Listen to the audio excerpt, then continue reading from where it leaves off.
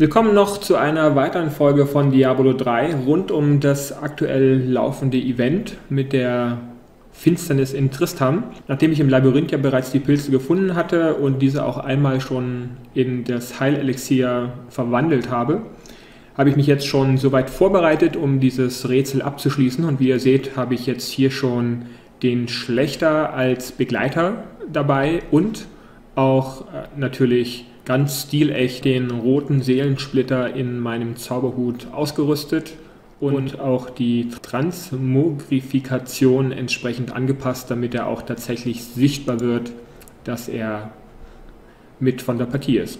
So, ich starte jetzt ins Spiel und spiele mit euch dann noch den zweiten Begleiter frei, der sich innerhalb dieses Events freischalten lässt. So, als Vorbereitung dafür habe ich mir schon mal nochmal einen von den Pilzen wieder aus dem Labyrinth besorgt der ja sowieso ähm, angefallen ist, weil ich noch einige Dinge tun musste, um die entsprechenden Erfolge freizuschalten.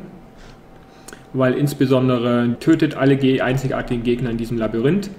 Ähm, das hat eine ganze Weile gedauert und hat mich inzwischen auch schon bis auf über Stufe 70 gebracht, sodass ich bereits in den Paragon-Leveln aktuell aktiv bin. Die Vorbereitung, die notwendig war, damit ich dieses Event dann jetzt tatsächlich abschließen kann, beziehungsweise mir eben diesen zweiten Charakter freischalten kann. Das zeige ich euch gleich. Auf jeden Fall beginnt eben die Geschichte mit dem Pilz und in der Hexenküche von Adria.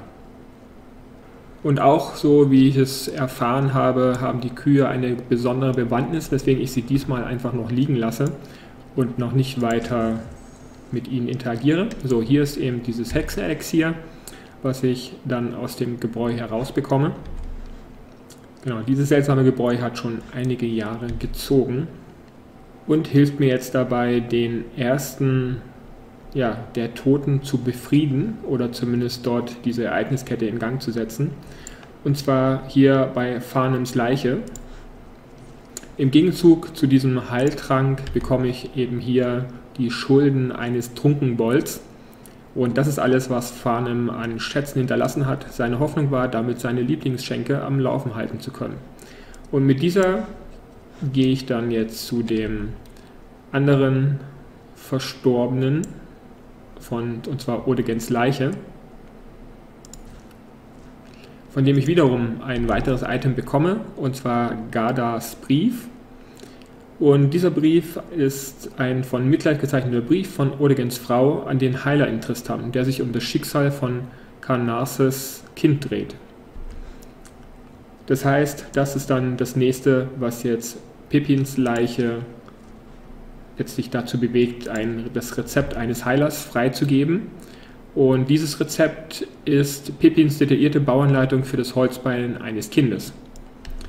Nachdem ich diese Anleitung bekommen habe, ähm, ist es dann bei Griswolds Leiche, also Griswolds feinste Waffen, dem Schmied oder ehemaligen Schmied, dieses zu übergeben.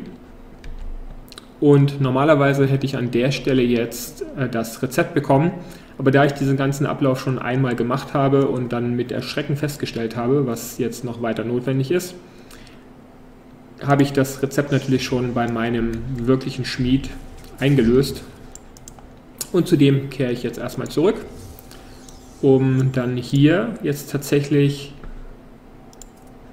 die Waffe des Holzbeins, also Wirtsbein, in Auftrag zu geben.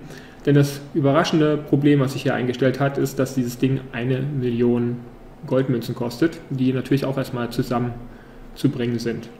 Also, jetzt mal her mit dem Teil und damit denke ich auch den Erfolg abgeschlossen. Genau, damit ist der Erfolg auf jeden Fall der letzte.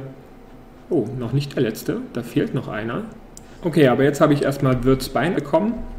Und das Besondere ist jetzt, armer Wirt, ich habe alles für den Jungen getan, was ich konnte, doch ich weiß, dass er das Holz hasst, das ich an seinem Bein anbringen musste. Seine Wunden waren furchtbar. Niemand, schon gar nicht ein Kind, sollte jemals so etwas leiden müssen wie er. Pepin.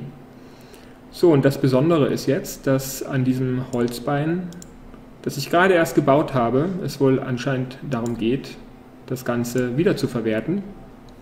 Ich hoffe nur, dass es wirklich stimmt und ich jetzt nicht eine Million in den Sand gesetzt habe.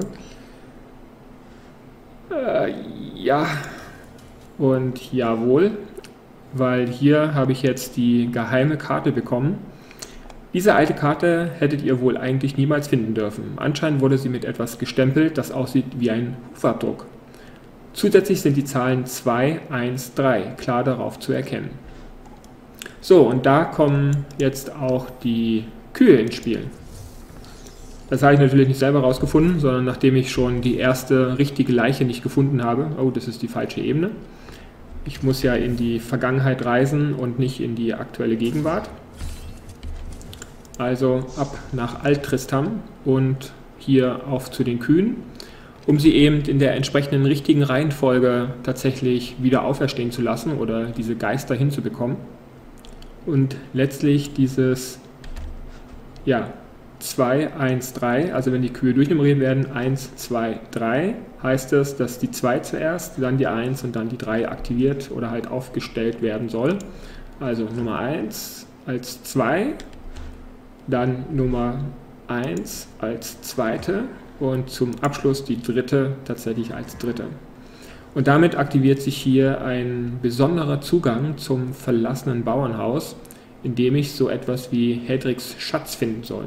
Also auf in das verlassene Bauernhaus und mal schauen, ob das, was ich da finden soll, wirklich vorhanden ist.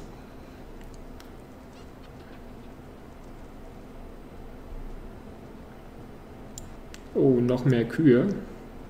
Mal gucken, ob die irgendwie sauer reagieren. Von wegen, es gibt kein Kuh-Level.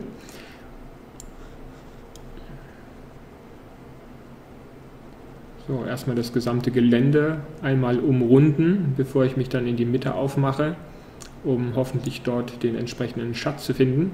Zumindest sieht hier alles noch recht friedlich aus. Nichts, was mich angreift und nichts, was mich ans Leder will.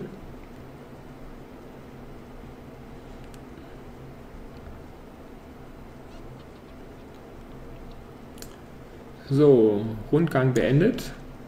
Eine Vogelscheuche und Wirtsschatz.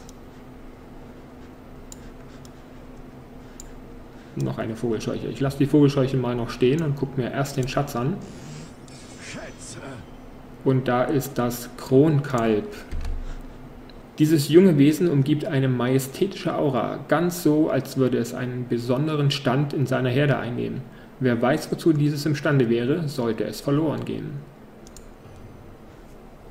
So, aktiviert und jetzt sollte Genau, ein weiterer Gefährte in meiner Auswahlliste vorhanden. Anlegen. Und jetzt habe ich eine Kuh als Begleitung. Okay. Ja, aber das war es eigentlich schon. Mehr gibt es hier nicht zu tun. Und es hat zumindest keine weitere verdeckte Errungenschaft oder irgendwas freigeschaltet die die 96% erklären könnte. Ja, also soweit zumindest die letzte sichtbare Errungenschaft in den besonderen Events. Und jetzt munter könnt ihr dann mit einer Kuh durch die Level spazieren. Okay, inzwischen ist das, sind die Ereignisse auch tatsächlich bei 100%. Anscheinend hat er dort ähm, das nicht gleich aktualisiert, nachdem ich Wirtsbein hergestellt habe.